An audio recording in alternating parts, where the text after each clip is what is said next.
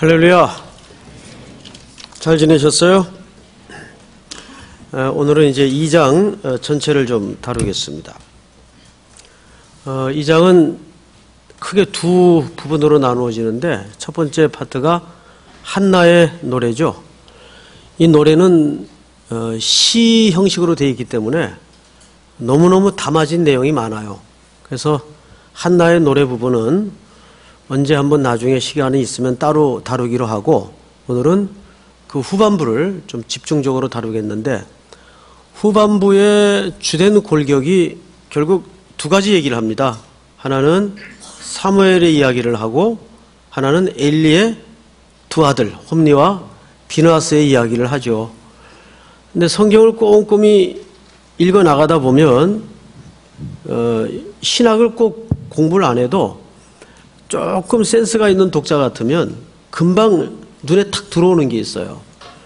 이 두 개의 스토리가 이렇게 꽈배기가 이렇게 얽히듯이 계속 교차로 나오죠. 반복해서. 엘리의 두 아들 이야기를 한번 했다가 또 사무엘의 이야기를 한번 했다가 그런데 이두 부류의 시작과 결말이 너무 극명하게 벌어집니다. 하나는 어, 멸망으로 가고 하나는 어, 계속 승승장구해서 자라죠. 그 표현을 키가 자라고 지혜가 자라고 이럴 때 쓰는 겁니다. 자라요, 자꾸. 잘 되고. 어, 보통 이제 이 본문은 주로 매년 5월이 되면 어린이 주일날 특별히 교회 학교나 또 어린이 주일 강단에서 이 본문을 중심으로 어, 아이들은 사무엘처럼 어, 키워야 됩니다. 그래야 애들이 잘 됩니다. 요 홈리와 비누아스처럼 엘리의 두 아들처럼 키우면 결말이 이렇게 망할 수밖에 없습니다. 어, 그렇게 이제 표면적으로만 결론을 내린다면 뭐 쉬워요. 이해하기도 쉽고. 근데 그러기엔 이 성경에 담아진 내용이 너무 뜻밖의 많은 내용을 담고 있어요. 그래서 오늘도 이제 일부 때 좀 시간을 많이 할애를 했습니다마는 오늘은 이 두 개의 이야기가 도대체 성경 전체에서 어, 무슨 얘기를 하고 싶었던 어, 비결까? 그리고 그 결말은 왜 이렇게 극명하게 드러나도록 성경 기자가 일부러 교차시켜 가면서 대조를 시키고 비교를 시키고 구성을 했을까? 어, 이렇게 한번 주목해 보도록 하겠습니다. 어, 여러분 우선 사무엘의 위치는 이렇습니다. 어, 시대가 지난 시간에 잠깐 나누었던 것처럼 사사 시대를 배경으로 하고 있어요. 실제로 사무엘은 어, 사사 시대의 마지막 사사입니다. 하면서 왕정 시대를 여는 어, 단초를 마련하죠. 그러니까 사무엘의 위치는 정확히 이렇습니다. 사사시대의 몰락과 함께 새로운 왕정 시대를 열어가기 위해서 그 왕에게 기름을 부어야 되는 이런 연결고리의 사무엘 선지자가 역사의 전면에 등장을 하는 거예요. 사실은 이 사사기 역사는 하나님의 심판대로라면 종막을 구했어야 될 역사입니다. 이제 그 이유를 조금 이따가 설명을 드리겠어요. 그런데 하나님은 그 사사 시대를 종막을 고하면서 새로운 시대를 열죠. 왕정 시대를 열어요. 보통 우리가 알고 있기는 왕정 시대는 이스라엘 백성들이 주변 나라들처럼 왕을 요구했기 때문에 왕정 시대를 열었다. 이렇게 알고 있습니다. 그러나 훨씬 이전에 신명기에 보면 이미 그 경우를 하나님이 일찌감치 대비해 놓으셨다는 사실을 금방 알 수가 있습니다. 자, 우리 오늘 본문으로 들어가기 앞서서 신명기서를 한번 열어보죠. 신명기 17장. 신명기 17장. 14절서부터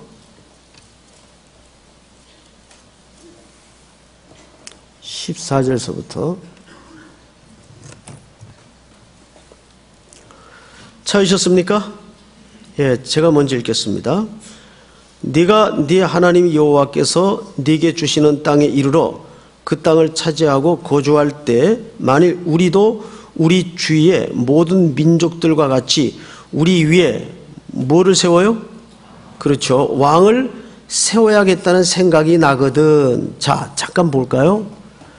이미 하나님께서 이 백성들의 그런 요구가 반드시 벌어질 거라는 걸 예상했어요, 안 했어요?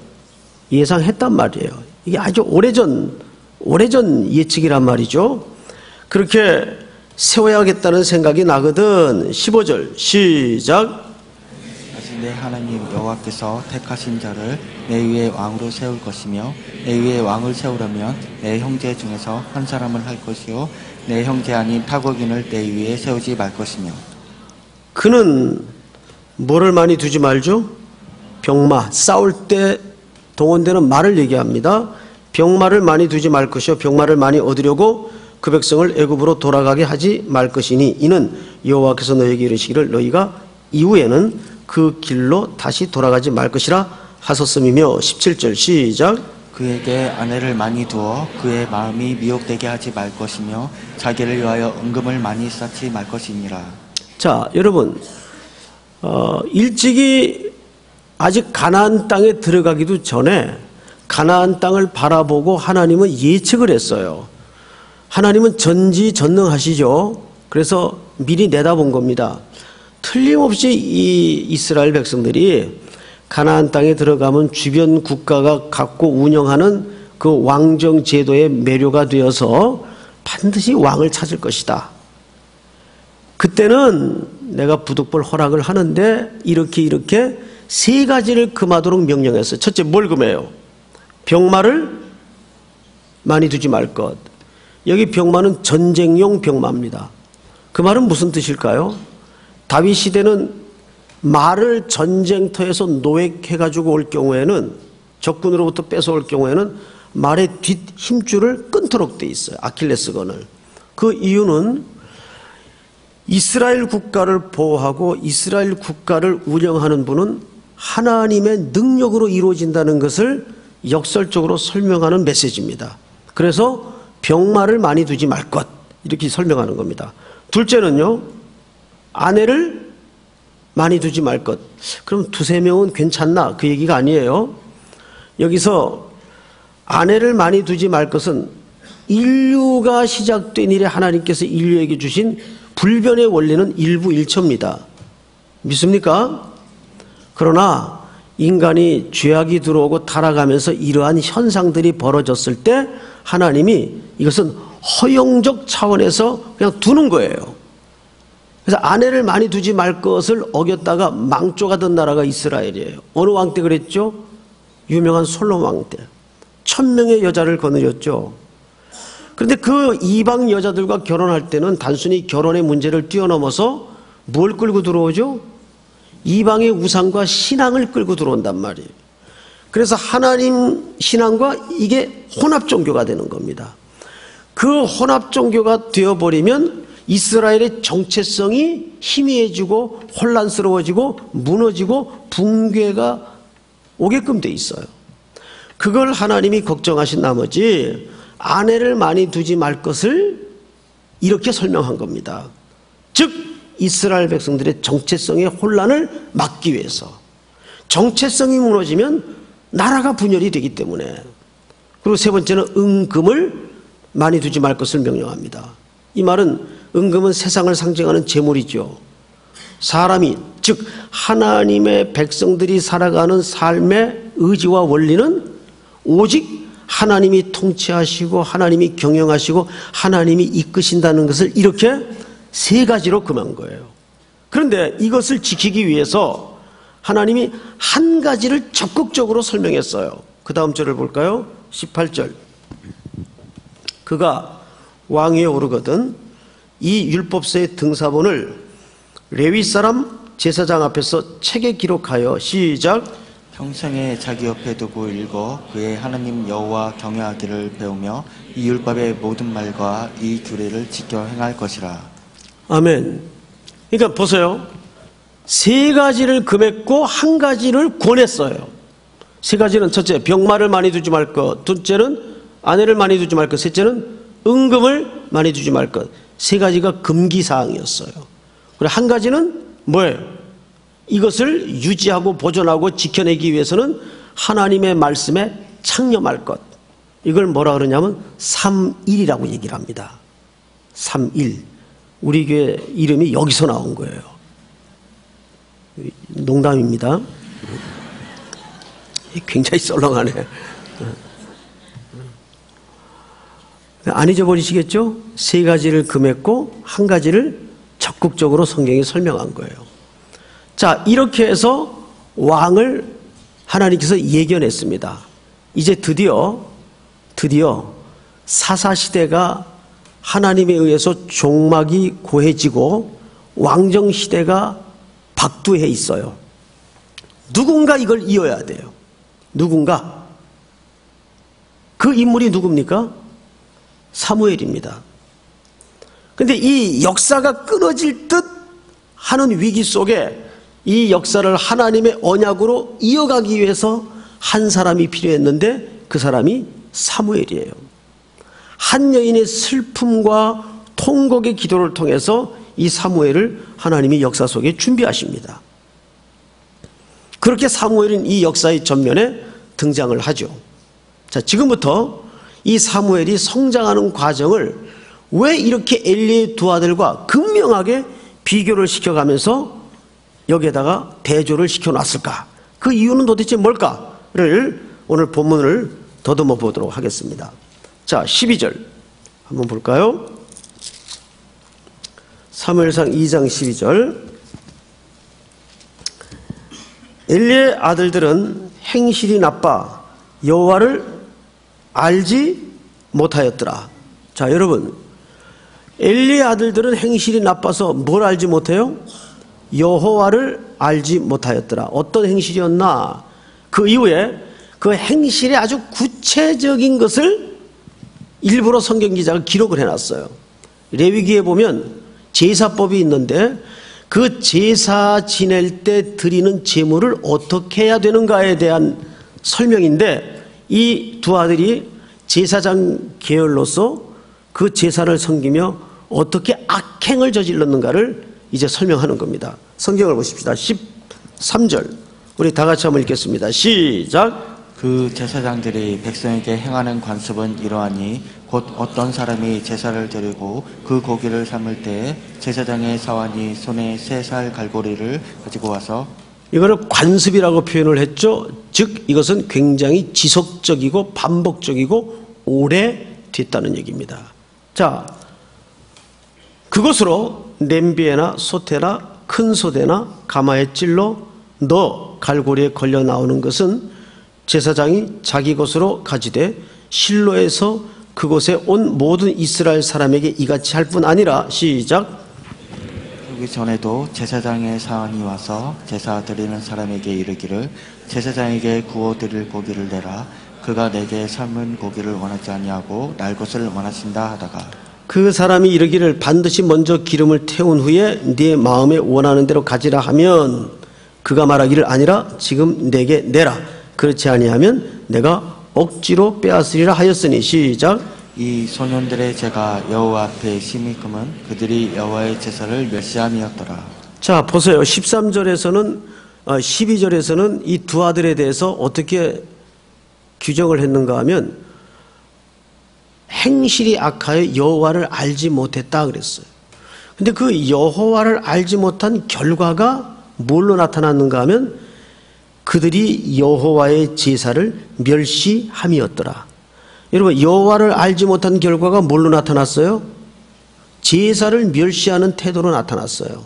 원래 이 제사는 순서가 어떻게 되어 있는가 하면 레위기의 그 규칙이 정확히 나와 있습니다. 후에 가서 한번 확인을 하십시오. 제, 제물이 제사장들에 의해서 가져오면 먼저 기름을 하나님 앞에 드리고 태운 후에 거기 기름이라는 것은 기름 덩어리 그 말이 아니라 가장 좋은 부분을 얘기합니다. 그리고 태운 후에 나머지 부분을 아론의 계열인 제사장 직책을 가진 자들이 즉 오늘 여기 등장하는 홈리와 비누아스 같은 엘리의 두 아들들이 먹도록 취하도록 법으로 규정해 있어요. 근데 지금 이 사람들은 먼저 기름진 것을 하나님 앞에 드리기도 전에 누가 먼저 취하겠다는 얘기입니까? 자기들이 먼저 취한다는 얘기예요. 그러니까 예배를 하나님이 먼저 받는 거예요? 인간이 먼저 받는 거예요? 인간이 먼저 받는 거예요. 그 말을 이렇게 표현했죠. 그들이 여호와의 제사를 멸시함이었더라. 이 출발이 왜 그랬어요? 하나님을 알지 못하는 무지가 이런 결과를 나타냈어요. 자, 그런데 이 두 아들의 행실과 반대로, 반대로, 자, 결과를 한번 보십시다. 22절. 다 같이 읽겠습니다. 시작. 오직 하나는 올라가지 않... 아. 누가 등치만 했으면 그들이 제사를 멸시한 결과가 어느 정도까지 방종을 가져왔는가 하면 여기 동침하였음을 듣고라는 말은 샤카브라는 히브리 말을 썼는데 이 단어는 영적인 간음을 얘기합니다. 종교 간음을 얘기해요. 이것은 그 성소에 들어오는 여인들을 이 제사장이라고 일컫는 이 엘리의 두 아들이 지속적이고 반복적이고 오랜 세월 범했다는 얘기예요. 이 내용이 그래서 하나님께서 23절 그들에게 이르되 너희가 어찌하여 이런 일을 하느냐? 내가 너희의 악행을 이 모든 백성에게서 듣노라. 내 아들들아 그리하지 말라. 내게 들리는 소문이 좋지 아니하니라. 너희가 여호와의 백성으로 범죄하게 하는도다. 자 이것이 아버지가 한 훈계인데 이제는 아버지의 훈계가 먹히지 않는 시점에 이르렀어요 이제는 계속됩니다 그런데 초반에도 말씀을 드렸지만 마치 엘리의 두 아들 한 번 등장하고 다니엘 한 번 등장해서 이 본문은 일관되게 두 그룹을 극명하게 자꾸 대조를 시켜요. 어떤 목적을 가지고. 볼까요? 18절. 중간에 사무엘 얘기가 또 슬쩍 끼어져 있죠? 사무엘은 어렸을 때에 뭘 입어요? 세마포 에봇을 입고 여호와 앞에서 섬겼더라. 19절 시작. 그의 어머니가 매년 드리는 제사를 드리러 그의 남편과 함께 올라갈 때마다 작은 겉옷을 지어다가 그에게 주었더니 할렐루야. 자, 엘리의 두 아들은 자꾸 내려가요. 자꾸 망하는 길로 가요. 그런데 사무엘은 자꾸 올라가요. 자꾸 성장을 해요. 여기 세마포 옷을 입었다는 것은 물론 제사장이 입는 옷이긴 하지만은 여기에는 중요한 연결고리가 하나 있어요. 즉 하나님의 말씀을 학습하고 가르치는 자에게 숙련된 자들에게 이 옷을 입힙니다. 그러면 어릴 때부터 사무엘은 뭐의 철저한 훈련 속에 성장했다는 얘기입니까? 하나님 말씀을 듣고 읽고 배우고 전하는데 철저하게 훈련되어 성장했다는 얘기예요. 제가 어느 주일인가 어, 지지난 주일인가요? 그런 설명 드렸죠. 요셉이 어릴 때부터 아버지에 의해서 무슨 옷을 입히죠? 채색 옷을 입혀요. 그냥 막둥이니까 이뻐서 사랑스러워서 입힌 옷이 아니라 그랬어요. 채색 옷을 입혔다는 것은 말씀을 잘 배우고 훈련되는 아들에게 입히는 옷입니다. 그러면 그 말은 유독 요셉은 어릴 때부터 뭐에 창념된 삶을 살고 있었습니까? 하나님 말씀. 요셉은 우리가 일반적으로 얘기하는 것처럼 어리버리한 측면도 있긴 하지만 꼭 그런 캐릭터만은 아니에요. 예를 들어서 보디발의 집에 아무도 없었어요. 피 끓는 청년 시절이었는데 여인이 유혹을 해고 들어와요. 아무도 없어요.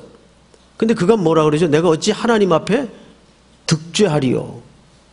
여러분, 그 속에 하나님의 말씀이 없이는 그런 고백이 그런 유혹으로부터의 방어가 나올 수 있을까요? 불가능한 겁니다. 그래서 17 나이에 하나님이 요셉에게 꿈을 주는 거예요. 하나님의 비전을 주는 거예요. 그 요셉의 비전이 아니에요. 그 17이라는 말이 폐임이란 뜻인데 그 말은 하나님의 헌신, 하나님이 이제 이 아들을 통해서 하나님의 꿈을 이루어 가겠다는 언어와 말씀을 주신 거라 그 말이에요. 이런 말씀과 약속이 속에 성장하지 않은 사람에게 그런 꿈을 줄까요? 막걸리 집에서 맨날 니나노 하던 사람에게 어느 날 갑자기 하나님이 계시합니까? 그런 법은 없어요. 이렇게 사무엘은 반면에 어릴 때부터 세마포옷을 입히우면서 하나님 앞에서 하나님의 말씀으로 차곡차곡 자랍니다. 성경엔 잘한다는 표현을 했어요. 왜 그랬을까요? 이제 서서히 하나님의 의도가 드러나기 시작합니다. 성경을 좀 더 보십시다. 20절. 20절. 엘가나, 어, 엘리가 엘가나와 그의 아내에게 축복하여 이르되 여호와께서 이 여인으로 말미암아 네게 다른 후사를 주사 이가 여호와께 간구하여 얻어 바친 아들을 대신하게 하시기를 원하노라 하였더니 그들이 자기 집으로 돌아가며 시작 하나를 돌보시사 그로 하여금 민신하여 세 아들과 두 딸을 낳게 하셨고 아이 사무엘은 여호와 앞에서 자라니라 여기 잘한다는 표현이 나오죠. 자, 이제 이 부분을 어, 잘게 썰어서 다시 설명을 들으십시오. 여호와께서 한나를 어떻게 하셨다고 돼 있죠? 돌아보사라고 돼 있어요. 근데 이 돌아보사라는 말이 무슨 뜻인지 아세요? 이 말이 역설적으로 심판이라는 개념이 담아져 있습니다. 아니, 돌아보는 게 왜 심판이에요? 잘 생각하세요? 바다에 배가 떴어요. 그럼 배가 뜨는 건 물이 있기 때문에, 물이 전제됐기 때문에 배가 뜨겠죠. 근데 배 안에 있는 사람은 구원을 얻어요. 반면에 배 밖에 있는 사람은 물로 말미암아 뭘 받습니까? 심판을 받습니다. 그게 베드로전서의 고백 아닙니까? 마찬가지예요. 여기 돌아보사라는 말 속에는 왜 심판이란 야 하나님이 방문하여 계산하신다 그 뜻이에요. 그러면 하나님이 방문하여 계산하시는 것 자체가 심판 아니에요. 그때 하나님의 말씀에 붙들려 성장하고 있는 자에게는 이것이 구원의 기초가 되지만 은총의 기초가 되지만 떨어져 있는 자에게는 뭐가 되겠어요? 이게 심판이 된다고요. 자, 왜 한나는 하나님이 돌아보셨을까요? 그리고 사무엘을 대신해서 아들 셋, 딸 둘을 줘요. 그럼 몇입니까? 다섯 명을 줘요. 그럼 몇 배예요? 다섯 배를 줘요. 왜 그런지 아세요? 한나가 생명이 없어 슬픔을 가지고 하나님 앞에 기도할 때 아들을 구했어요. 그런데 하나님께서 한나와 마음이 통해버려서 한나가 드디어 하나님의 마음을 알았어요. 하나님, 그 아들 주세요. 어떻게 하겠습니다? 도로 내놓겠습니다. 이거를 하나님 입장에선 뺏어간 거예요. 누구를? 한나에게 생명보다 더한 아들을 하나님이 취해간 겁니다. 하나님이 훔쳐간 거예요. 마음에서부터 아들을 데려간 거예요. 그래서 몇 배, 몇 배를 줬어요? 다섯 배를 줘요. 이게 율법이에요. 율법에 보면 소를 남의 것을 가져왔을 때는 다섯 배를 주고 양을 가져왔을 때는 네 배를 주도록 되어 있습니다. 출애굽기에 보면. 그러니까 이 사무엘은 어떤 역사의 그림자와 역사의 하나님의 나팔을 위해서 하나님이 한나의 품에서 실질적으로 데려간 겁니다. 그래서 하나님이 몇 배를 줬어요? 다섯 배를 준 겁니다. 하나님이 돌아보신 거예요. 계산하신 거예요. 그 이런 거 보면 하나님은 세상 사람들의 인생살이처럼 뚱쳐먹거나 잘라먹는 적이 없어요. 무서우리만치 반드시 갚으세요. 아멘. 자문서에 뭐라 그랬어요? 가난한 자를 구제하는 것은 여호와께 꾸이는 것이라. 그 말은 가난한 자를 도와주는 것은 낮은 자를 도와주는 것은 하나님이 우리한테 꾸는 거래요. 그 하나님이 꾸어가는데 하나님이 떼 잡수시겠어요? 누구처럼? 절대 하나님은 떼 먹지 않아요. 먼 훗날 어느 자리 어느 시점에 우리가 가장 절실할 때 그때 하나님이 꾸신 것을 갚으세요. 믿습니까? 저는 이거를 오랜 경험이 있어요. 그걸 얘기하려면 한도 끝도 없고. 나는 그때 그냥 그것도 등 떠밀려가지고 어쩌다가 걸려가지고 조금 봉사하는 척 흉내만 낸 건데, 먼날 하나님께서는 그거를 몇십 배, 몇백 배로 어마어마하게 갚으시는 것을 보고 소스라치게 놀랄 때가 한두 번이 아니에요. 하나님은 이렇게 슬픔으로 가득 찼던 여인의 가슴 속에 다섯 배의 기쁨을 주시는 거예요. 다섯 배의 기쁨. 그렇게 돌아보신 겁니다. 자, 그런데 이제 성경을 보십시다. 이 21절에 보시면 돌아보사 어, 돌보시사 그로 하여금 임신하여 세 아들과 두 딸을 낳게 하시고 아이 사무엘은 여호와 앞에서 어떻게 하니라? 잘하니라. 잘한다는 말은 성숙하고 성장한다 그 말 아니에요. 이게 도대체 무슨 말일까요? 우리 이 말 어디 비슷한데 기억나는 대목 없어요? 예수님이 키가 자라고 지혜가 자랐죠. 자랐어요. 그 잘한다는 말을 왜 썼을까요? 그거 뭐 안 써도 사람이 잘하는 거 모르나요? 이 말은 조금 더 구속사적인 이유가 있어요. 자, 첫 아담 하와가 아, 아담과 하와가 하나님 앞에 범죄를 하죠. 그래서 죽어요. 근데 하나님은 그것을 그대로 두지 않고 둘째 아담이자 마지막 아담 예수 그리스도를 준비하시면서 그분은 우리의 왕 중의 왕이 되실 거예요. 그래서 창세기 15장, 어, 3장 15절에 뭐라 그랬어요? 여인이 내 머리를, 여인의 후손이 내 머리를 상하게 할 것이다. 너는 그 후손의 발꿈치를 상하게 할 것이다. 그 그리스도께서 받으실 고난을 얘기하고 그리스도는 사탄의 권세를 머리를 부수어뜨려서 정복할 것을 암시한 원시복음이에요. 그건 하나의 조그만 씨, 씨. 씨는 자랍니까? 안 자랍니까?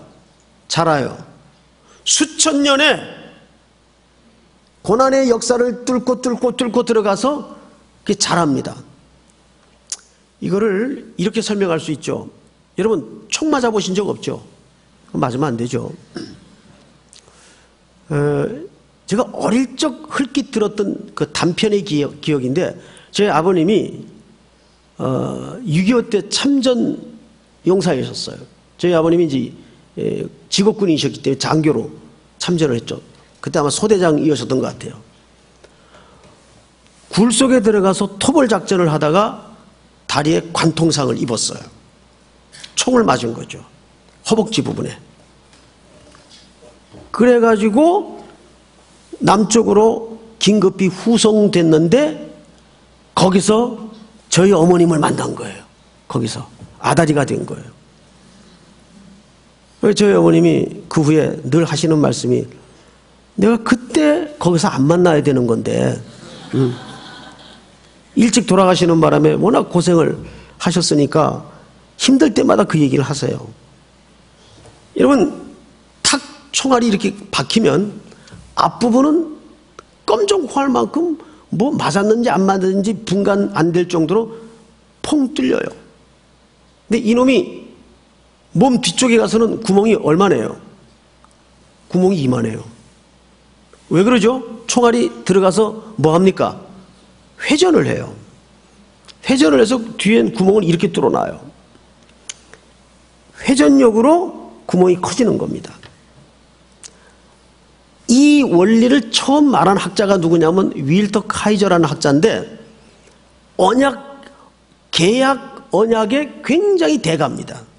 이분이 그 창세기 3장 15절이 하나의 씨라면 그 씨가 심어져서 인류의 역사를 타고 넘어서 이렇게 나선형으로 돌면서 확대되고 자란다 그 말이에요. 그런데 그 역사가 언제나 승승장구하는 역사가 아니라 인간의 불순종과 인간의 죄악과 인간의 못남과 약함 때문에 계속 끊어질 듯 끊어질 듯 해요. 그런데도 하나님은 그때마다 자비를 베푸셔서 끊질 않으시고 그 역사를 이어가시는 거예요. 자라게 하시고 확대하시는 거예요. 그걸 그 얘기를 하는 겁니다. 사무엘이 자라요. 그래서 그 사무엘이 자라서 하는 역할이 뭡니까? 하나예요. 다윗의 집을 세울 자의 머리에 기름을 붓죠. 예수 그리스도가 어느 집안에서 오시기 때문입니까? 바로 다윗의 집에서 오시기 때문이에요. 이것이 사무엘은 승심, 어, 승승장구하는 그림으로 나타나는 거예요. 하나님의 언약이 다윗의 집을 통해서 오시기 때문이에요. 그런데 엘리는 뭐예요? 엘리. 엘리는 여기서 끝나요. 성경을 볼까요? 29절을 보세요. 29절. 자, 다 같이 시작. 너는 어찌하여 내가 내 처소에서 내 재물과 예물을 받으며 내 아들들을 나보다 더 중히 여겨 내 백성 이스라엘이 드리는 가장 좋은 곳으로 너희들을 살찌게 하느냐? 그러므로 이스라엘 하나님 나 여호와가 말하노라 내가 전에 네 집과 네 조상의 집이 내 앞에 영원히 행하리라 하였으나 이제 나 여호와가 말하노니 결단코 그렇게 하지 아니하리라. 나를 존중히 여기는 자를 내가 존중히 여기고 나를 멸시하는 자를 내가 경멸하리라. 보라 내가 네 팔과 네 조상의 집 팔을 끊어 네 집에 노인이 하나도 없게 하는 날이 이를지라. 이스라엘에게 모든 복을 내리는 중에 너는 네 처소에 환란을 볼 것이요 내 집에 영원토록 노인이 없을 것이며 내 재단에서 내가 끊어버리지 아니할 네 사람이 네 눈을 쇠잔하게 할 네 마음을 슬프게 할 것이요. 네 집에서 출산되는 모든 자가 젊어서 죽으리라. 네 두 아들 홈리와 비나스가 한 날에 죽으리니 그 둘이 당할 그 일이 네게 표징이 되리라. 자 보세요 엘리의 두 아들은 한날 한시에 동시에 죽음을 당합니다. 이게 무슨 집안이죠? 제사장 집안이에요. 끝나는 거예요. 제사가 끝나는 거예요. 그 엘리의 두 아들이 여기서 멸망의 그림으로 등장하는 것은 딱 하나의 메시지예요. 제사로는 안 되겠구나. 매년 끊임없이 반복하여 드리는 그 인간이 드리는 제사로는 구원이 없구나. 그래서 구약 성경의 마지막 책인 말라기가 뭘로 끝납니까? 성전문 닫읍시다. 의미 없이 가져오는 그 예물, 회개 없이 드려지는 모든 예배 그만합시다. 내가 실어버린 바 되었다. 그리고 구약의 그 제사는 말라기의 성전을 닫자는 고백으로 고함으로 끝이 나요. 근데 하나님은 우리를 그렇게 종막을 고하게 하지 아니하시고 그 폐역과 불순종의 한복판에 누구의 집을 준비하십니까? 다윗의 집을 준비하시는 거예요. 그래서 사무엘이 잘하는 모양으로 여기 그려지는 겁니다. 사무엘이 그 오실 예수 그리스도의 언약을 성취할 다윗의 집에 기름을 붓는 역할로 등장을 하는 거예요. 이 단순히 사무엘처럼 자라야 애들이 똑똑해지고 애들이 성공합니다. 적용은 그렇게 할 수 있어도 그게 오리지널 미닝과 메시지가 아니에요. 여기는 좀 더 속 깊은 어떻게 하나님의 자비가 끊어지지 아니하고 이 폐역한 세대를 뚫고 들어가서 하나님의 사랑을 드러내시고 오실 그리스도를 준비케 하시는가. 그 이유를 한번 볼까요? 자, 성경을 한번 더 보십시다. 34절, 어, 35절. 우리 다 같이 읽겠습니다. 시작. 내가 나를 위하여 충실한 제사장을 일으키리니 그 사람은 내 마음 내 뜻대로 행할 것이라 내가 그를 위하여 견고한 집을 세우리니 그가 나의 기름 부음을 받은 자 앞에서 영구히 행하리라 아멘. 이건 누가 오실 것을 암시하는 그림이에요. 충실한 제사장. 내 집에 충성스러운 종. 히브리서에 누구라 그랬어요? 예수 그리스도를 얘기합니다. 그리고 그분은 오셔서 내 마음, 내 뜻대로 행할 것이라. 누가? 예수 그리스도가. 그리고 이어서 보십시다. 그를 위하여 무엇을 세워요? 견고한 뭡니까? 집. 누구의 집을 얘기합니까? 다윗의 집을 얘기하는 거예요. 이 이야기를 성경 기자가 다윗 시대에 다윗이 친히 직접 기가 막힌 시로 고백을 해놨어요. 우리 시편 40편을 넘어갑니다. 시편 40편 자, 시편 40편에 시편을 읽을 땐 꼭 시제를 봐야 돼요. 누가 썼습니까? 다윗이 썼죠? 자, 6절을 보세요. 주께서 내 귀를 통하여 자, 여기 내 귀는 누구 귀죠? 누구 귀예요? 이 시를 누가 썼어요? 그러면 여기 내 귀는 누구 귀예요? 다윗의 귀죠. 통하여 내게 들려주시기를 제사와 예물을 기뻐하지 아니하시며 번제와 속죄제를 요구하지 아니하신다 하신지라 자 시작 그때 내가 말하기를 내가 왔나이다 나를 가리켜 기록한 것이 두루마리 책에 있나이다 나의 하나님이여 내가 주의 뜻 행하기를 즐기오니 주의 법이 나의 심중에 있나이다 하였나이다. 이 무슨 뜻이에요? 즉 있나이다까지는 다윗의 귀에 들린 예수님의 음성이었어요. 자 보세요. 6절부터 다시 읽어 드릴게요. 주께서 내 귀를 통하여 내게 들려주시기를 제사와 예물을 여기서부터 들려주신 그 음성의 내용이에요. 제사와 예물을 기뻐하지 아니하시며 번제와 속죄제를 요구하지 아니하신다 하신지라 그때에 내가 말하기를 내가 왔나이다. 여기 내가 말하기는 예수님이 말씀하시는 겁니다. 내가 왔나이다. 나를 가리켜 기록한 것이 두루마리 책에 있나이다. 두, 두루마리 책의 모든 주제는 누굽니까? 예수 그리스도를 얘기하는 거예요. 나의 하나님이여 여기 보세요. 사무엘상 2장에 나타난 기록이 그대로 나타나 있죠. 내가 주의 뜻 행하기를 즐기오니 주의 법이 나의 심중에 있나이다 하였나이다. 다윗이 계시를 통해서 누구의 음성을 들은 거예요? 예수 그리스도의 음성을 들은 거예요. 자, 이 시를 히브리 기자가 이렇게 절묘하게 인용을 했습니다. 마지막으로 히브리서 10장 넘어갑니다. 히브리서 10장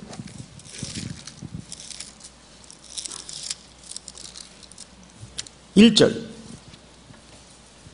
저하고 교도갑니다. 율법은 장차 올 좋은 일의 그림자일 뿐이요 참 형상이 아니므로 해마다 늘 드리는 같은 제사로는 나오는 자들을 언제나 온전하게 할 수 없느니라. 해마다 율법에 따라 드리는 제사는 그 제사 드리는 나오는 자를 온전하게 할 수 있어요, 없어요? 온전하게 할 수 없어요. 그래서 엘리의 두 아들을 멸망시킴으로써 제사로는 안 된다는 것을 그림으로 나타낸 겁니다. 자, 이어서 보십시다. 2절. 시작. 그렇지 아니하면 성기는 자들이 단번에 정결하게 되어 다시 죄를 깨닫는 일이 없으리니 어찌 제사들은 일을 그치지 아니하였으리요 한 번에 해결이 안 되니까 매년 반복하지 않았냐 그 말이에요. 자, 3절. 어, 그러나 이 제사 이 제사들에는 해마다 죄를 기억하게 하는 것이 있나니 이는 황소와 염소의 피가 능히 죄를 없이 못함이라 그러므로 주께서 세상에 임하실 때 이르시되 하나님이 제사와 예물을 원하지 아니하시고 오직 나를 위하여 한 몸을 예비하셨도다. 6절 시작. 번제제 속죄제는 기뻐하지 아니하시나니 다 같이 이에 이에 내가 말하기를 하나님이여 보시옵소서 두루마리 책에 나를 가리켜 기록된 것 같이 하나님의 뜻을 행하러 왔나이다 하셨느니라. 할렐루야. 자, 그러면 이제 마지막으로 사무엘상 2장으로 돌아가서 아까 우리가 살펴봤던 그 부분을 다시 보십시다. 35절. 제가 읽겠습니다. 내가 나를 위하여 충실한 제사장을 일으키리니 그 사람은 내 마음 내 뜻대로 행할 것이라. 내가 그를 위하여 견고한 집을 세우리니 그가 나의 기름 부음 받은 자 앞에서 영구히 행하리라. 할렐루야. 자, 이제 결론입니다. 사무엘서 2장에는 왜 엘리의 두 아들의 멸망과 사무엘이 비교돼서 이렇게 등장을 하는가? 단순히 말 안 들으면 이렇게 쫄딱 망하고 하나님 앞에 말씀대로 잘 크면 사무엘처럼 훌륭한 사람이 되고 이런 윤리나 교훈적 의미도 있겠으나 여기에 진짜 성경 전체에 걸쳐서 말하고자 하는 가장 중요한 초점은 엘리의 아들들이 맡았던 역할이 뭐예요? 제사장 역할이에요. 근데 그 제사로 인간이 온전해졌어요? 온전해지지 않았어요? 온전해지지 않더라고요. 그 제사가 요구하는 율법의 기준대로 매년 인간이 들이대어지는데 의인이 없고 의가 없더라고요. 그것밖에 들통난 게 없어요. 그래서 하나님은 이 꺼져가는 등불을 끄지 아니하시려고 역사 속의 한 여인의 슬픔을 통해 사무엘을 준비하시사 누구의 집에 기름을 부어요? 다윗의 집에 기름을 부어요. 그리고 그 다윗의 집을 통해서 진짜 왕, 인간이 요구하고 인간이 설정하려 했던 그 왕이 아니라 참된 왕이 와야 돼요. 그분이 누구십니까? 예수 그리스도. 그분은 오셔서 내 마음, 내 뜻대로 행할 것이라 내가 그를 위하여 견고한 집을 세우리니. 믿습니까? 우리는 여기서 한 가지 중요한 이제 결론에 이르고 말씀을 마치도록 하겠습니다. 한국교회는 한국교회뿐만이 아니죠. 우리는 더 힘을 빼야 돼요. 무슨 말일까요? 누가 그런다 그래요. 송 목사가 무슨 힘이 있어? 그 말 들었을 때 제가 기분이 나빴을까요? 좋았을까요? 굉장히 좋았습니다. 진심입니다. 담임 목사가 용을 쓰고 카리스마로 힘을 써서 교회가 되어진다면 그건 교회 아니에요. 그건 교회 아닙니다. 교회는 하나님의 능력과 은혜와 힘만 작용되는 게 만져지고 보여져야 돼요. 아멘? 저는 더 힘을 뺄 겁니다. 쥐뿔도 지금도 가진 게 없지만 더 힘을 뺄 겁니다. 힘 빼서야 돼요. 그리고 오고 오는 역사 속에 우리는 두 가지를 기억해야 돼요. 엘리의 두 아들 속에 누구의 모습이 있죠? 우리가 있어요. 동시에 사무엘을 준비하여 다윗의 집에 기름 붓는 하나님의 긍휼과 자비 속에 누가 있습니까? 바로 우리가 있는 거예요. 그러니까 이 엘리의 그림과 사무엘의 그림은 다른 그림이 아니에요. 이 그림 속에 다 녹아진 겁니다. 우리는 엘리 같은 그림자를 가지고 있어요. 그런데 우리를 아주 짓밟고 무너뜨리고 멸망시키지 아니하시고 하나님은 다윗의 집에다가 우리를 밀어넣으시지 않습니까? 그 자비와 극률로 우리가 오늘을 살아가고 있다고. 그러니까 이 사무엘과 엘리의 두 아들의 비교는 무슨 교육과 훈계적 차원에서 비교로 등장하는 게 아니고 어떻게 하나님의 자비가 그 언약이 힘있게 인간의 방해와 불순종과 연약함에도 불구하고 자라나는가 확대되는가 완성될 것인가를 확고하게 보여주는 언약의 말씀이에요. 믿습니까? 오늘도 우리가 어느 환경, 어느 패턴에서 살아가든지 교회 아니든지 밖이든지 인간의 힘을 빼고 내 안에 예수가 충만케 하시고 하나님의 자비가 충만한 인생이 되게 하여 주시옵소서 내가 약할 때 곧 그때가 가장 강력한 상태임을 믿으시기 바랍니다. 우리 다 일어나십시다. 여호와의 유월절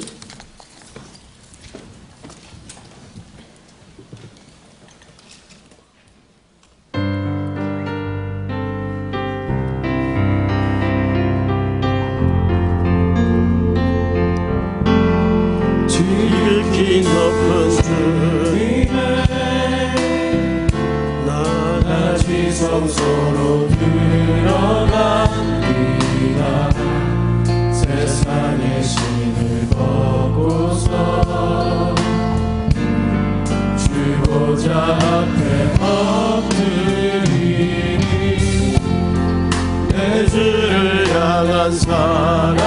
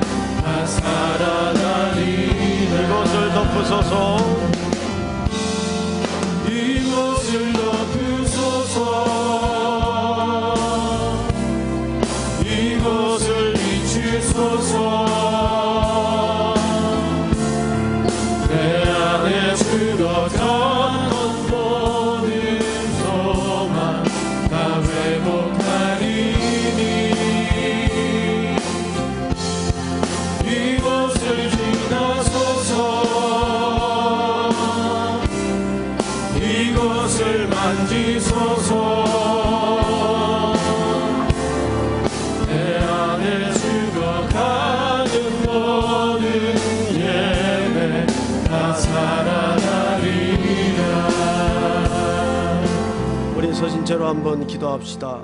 이제 이틀 남은 특세에 기름 부으시고 오시는 강사님들을 위해서 특별히 오늘 주신 말씀 붙들고 기도합시다. 매년 반복되는 제사의 행위로 율법의 행위로 우리가 의로워질 수 없음을 매일 절감하고 인정하고 고백합니다. 오직 다윗의 집으로 오실 만왕의 왕, 왕 중의 왕, 그 예수만이 우리를 회복하시고 고쳐주시고 그분이 우리를 덮어야 우리가 살 수 있는 존재임을 매일 절절히 고백하고 깨닫게 하여 주시옵소서.